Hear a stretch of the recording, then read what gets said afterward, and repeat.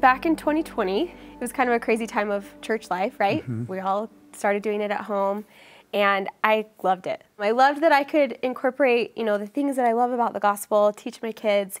And during that time, I just I loved not going to church mm-hmm. a little, maybe too much. And I and I grasped this relationship with Heavenly Father without the church. I didn't understand why we even needed to go back. And during that time, I just had a baby, and my husband got called as the bishop.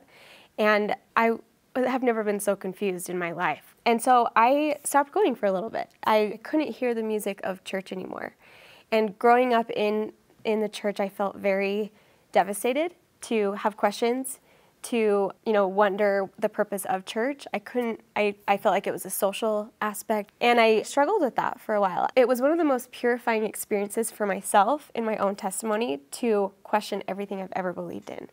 And that's because I ended up turning everything off and coming back to the scriptures and God. And after turning off all the noise, I came to this realization that I go to church not for people, not because my husband's a bishop, not, you know, just to be there for the kids to go to primary. I go for him. Mm-hmm. And he has become my whole center. And through kind of this faith crisis or faith journey, whatever you want to call it, by turning to Him, I feel like I'm that much stronger. Yeah. And that's the beauty of the atonement.